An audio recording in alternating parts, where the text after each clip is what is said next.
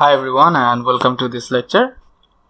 We want to show an example how you can find out branch points and suitable branch cuts for a given multi-valued function and as you can see that the problem I have already written down is that it wants us to identify the branch points and find switchable branch cuts for a function that is f of z equals to square root over z squared plus 1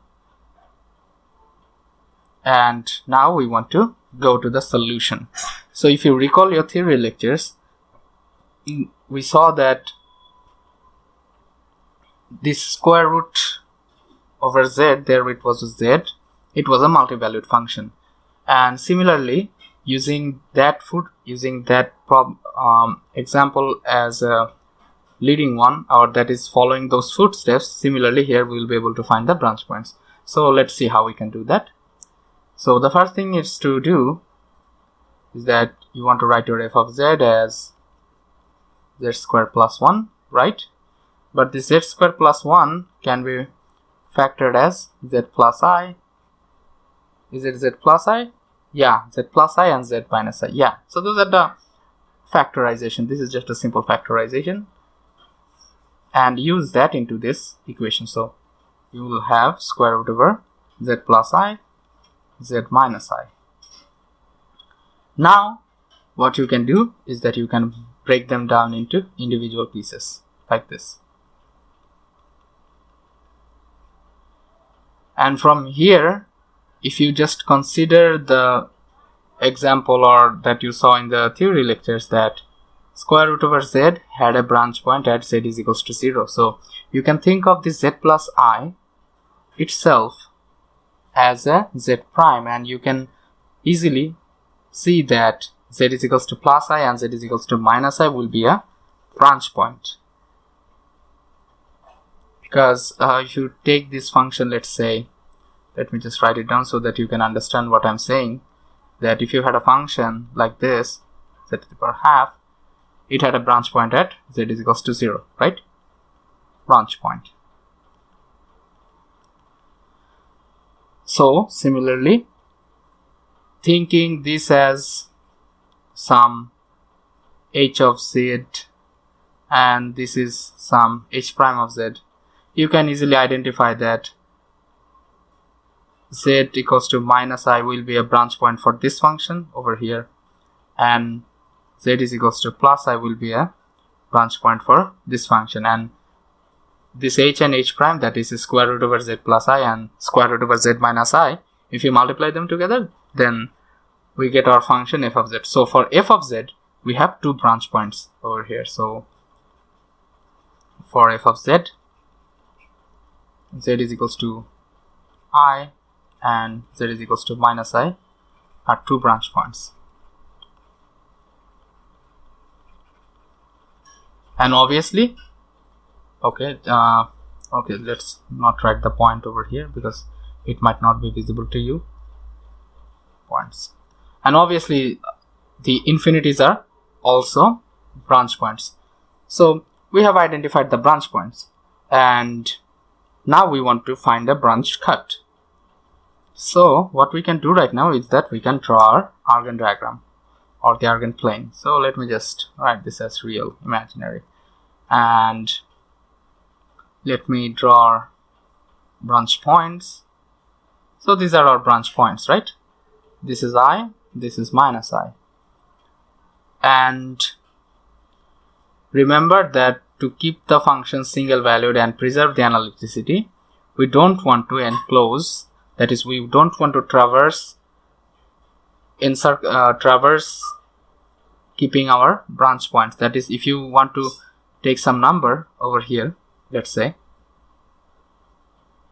Let's call this theta 1 let's call this theta 2 and this is your sum set.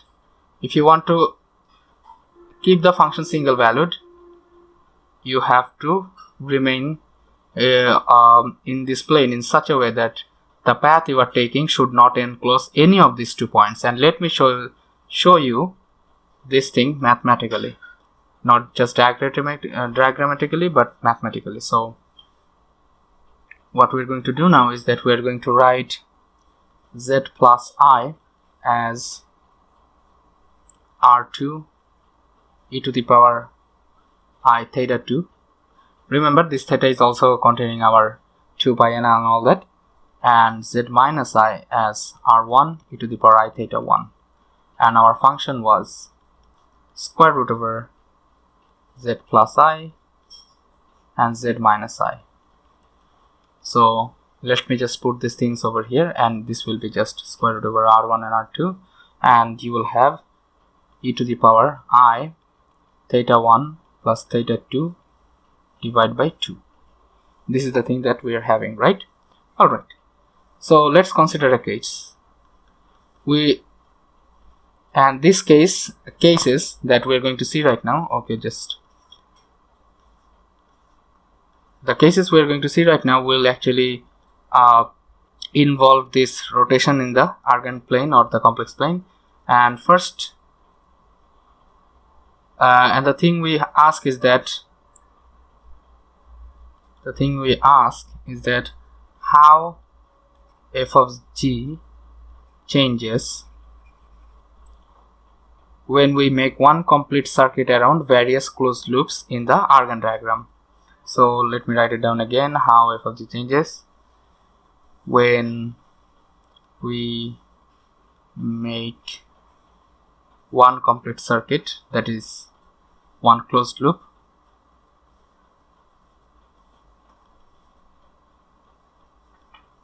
in the Argand diagram.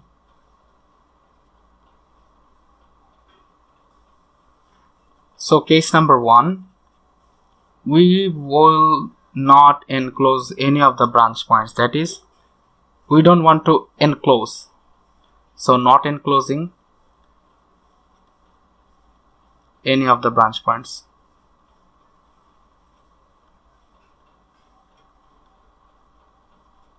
This will mean that okay let me just go back to the figure so let's say this is our case one that is denoted with black. So this is not enclosing any of the branch points over here. So this is case one. And you can see that these thetas theta 1 and theta 2 they will start from if you start from here let's take this point to be a. If you make a full circuit around this curve theta 1 and theta 2 will be just uh, they will change but ultimately when you close this curve they will return to their original values. So after uh, not enclosing any of these branch points will result in after one complete circuit theta 1 will be replaced by just theta 1 itself. Similarly for theta 2 and f of z will be just f of z right? Okay so let's consider another case. This is our case number 2 let me choose another color to denote this case number 2 let me choose a green color. That we want to enclose z equals to i. That is one of the branch points but not z is equals to minus i. So graphically what this would mean is that again you can start from here.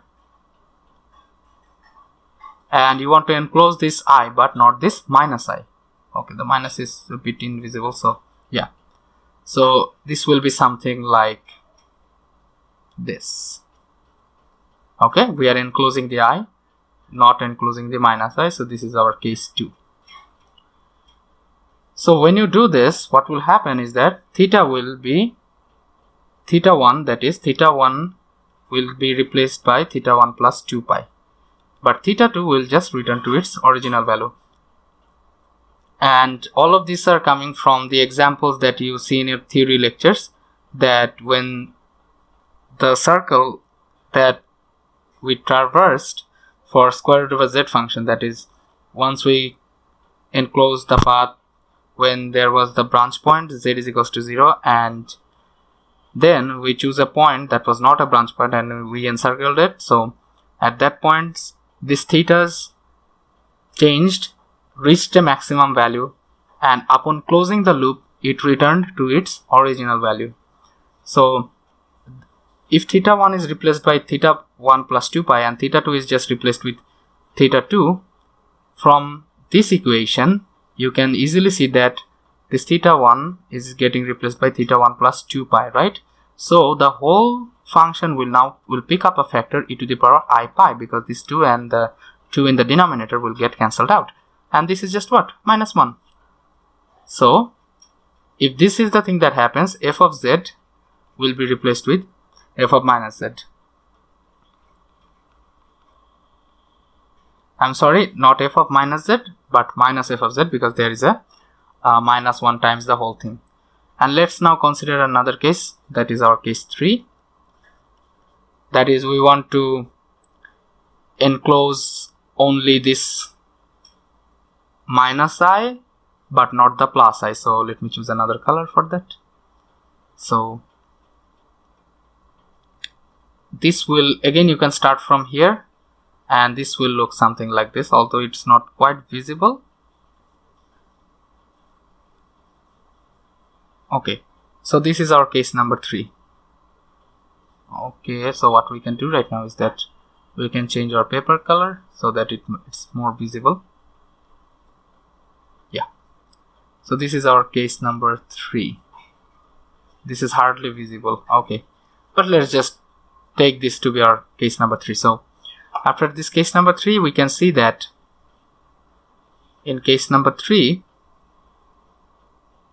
we are enclosing z is equals to minus i but not z is equals to plus i. And again because of that theta 2 will be replaced by theta 2 plus 2 pi and theta 1 will just return to its original value. As a result this function again this theta 2 when it goes to theta 2 plus 2 pi it will also pick up a factor of e to the power i pi. And this whole thing over here it will be multiplied with a minus sign. So our function f of z will again go to minus f of z. And the final case is that we want to include both of these branches. So when we include both of these branches this will mean that a thing a loop like this. So this is our case 4 let's say. That is you are enclosing both of these branch points. So if you do that then theta 1 will be replaced with theta 1 plus 2 pi. Similarly theta 2 will be replaced by theta 2 plus 2 pi. And our function that was written as square root over r1 r2 e to the power i theta 1 and theta 2 by 2 is if you just plug these two in you will get the function of f of z. That is you will get this whole thing times e to the power i pi e to the power i pi. This is minus 1 this is minus 1 they cancel each other out. And finally you'll just have f of z. So f of z gets replaced by f of z itself. So what is the lesson from here? The lesson is that f of z changes value around the loops containing either z is equals to i or z is equals to minus i, but not both. We must therefore choose branch cuts that prevents us from making a complete loop around either of the branch points, right? Otherwise, we are seeing that that is if you don't enclose any of them or if you enclose both of them only then the function is remaining single valued and analytic but whenever one of the branch points are getting enclosed it's becoming multi-valued. So that's why we need to make such branch cuts that will prevent us to go around any of the that is just one of them not two of them. If you just uh, that will prevent us from uh, making a complete loop around either branch point. So one of the suitable choice one choice for branch cut. Cut is the following. So this is our imaginary this is real and this is i this is minus i and this cut will extend to infinity like this. This is one of the choices and the other choice is the following that is if you have this okay uh, this is not a bad uh, this is not a very good uh, position or orientation. So let me just go down. Real imaginary and again let me just draw the branch points. I and minus i. And this is our second choice so this is how uh, uh, we can select uh, our branch cuts by inspecting what is happening to the function. And notice that this first choice over here these uh, cuts are not finite because from i and minus i they are both extending to uh, positive and negative infinity so to say respectively. And here this branch cut is a finite branch cut.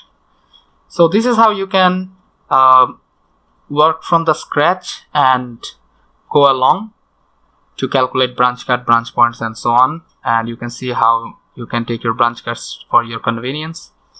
This will be it for today and thank you